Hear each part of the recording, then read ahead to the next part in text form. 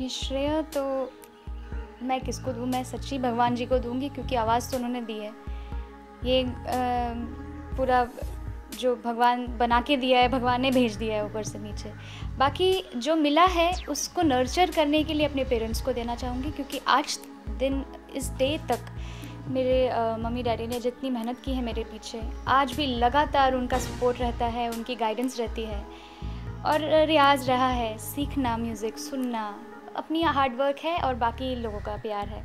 I think I generally am a happy person in life खुश रहती हूँ, अपने म्यूज़िक में, अपने म्यूज़िक को बहुत इन्जॉय करती हूँ।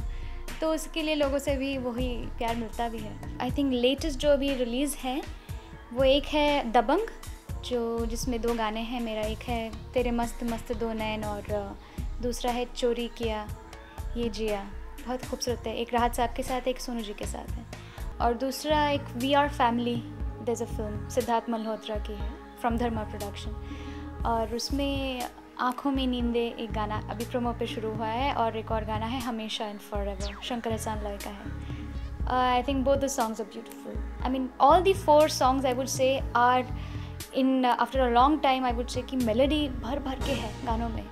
Something you will like to listen to for forever हमेशा and forever I would say मुझे बहुत अच्छी बात ये लगती है कि उनके गाने में, उनके गानों के साथ एक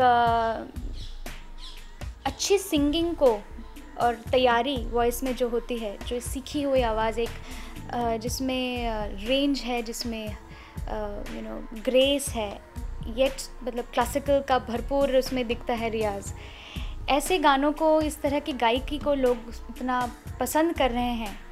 When we thought that people producers सब वो सोचने लगे थे कि शायद बहुत भारी गाना लोग समझ नहीं पाएँगे। But frankly great singing good songs जो दिल को छूती है, वो किसी भी अंदाज में गाया जाए, वो लोगों को पसंद आती है। सो राहत साहब has done that I think वो तो लोग बताएँगे, क्योंकि मैं तो मेरे सारे जो को सिंगर्स हैं, वो सब मेरे दोस्त हैं।